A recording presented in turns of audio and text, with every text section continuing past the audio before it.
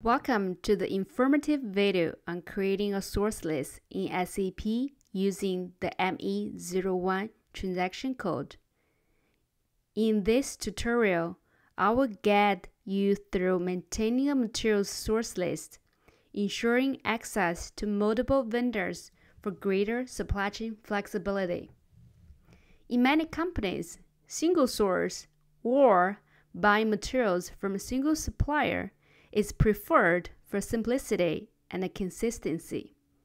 However, there are situations where relying on a single supplier is not feasible. That's where source lists come into play. Source lists in SAP enable the creation of lists containing various possible vendors for a specific material, ensuring multiple options in case the preferred supplier cannot meet demands. Let's dive into the process of creating a source list using the ME01 transaction code. Follow these steps to maintain your source list effectively. Open the ME01 transaction code and press enter. This will bring you to the Maintain Source List initial screen.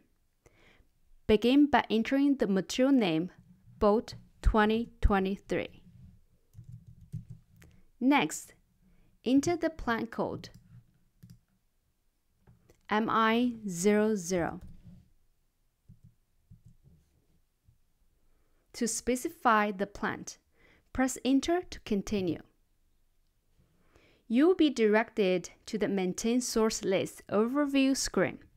Now it's time to enter the suppliers and start by defining the validity dates for each supplier. For valid from, choose today's date.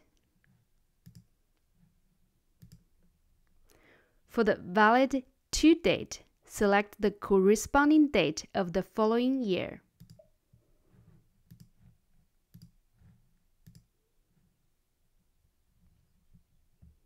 Enter the supplier number 101000.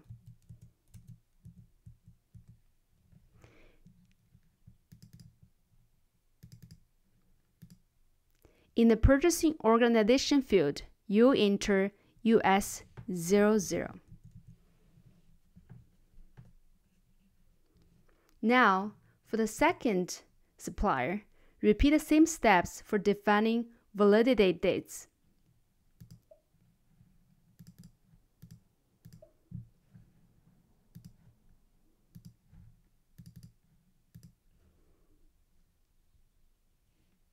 Enter the supplier number 103000.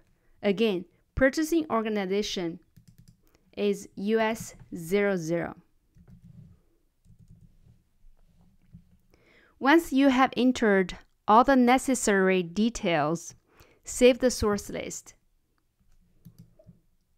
You'll be returned to the initial screen where you will receive a success message indicating that your source list has been changed.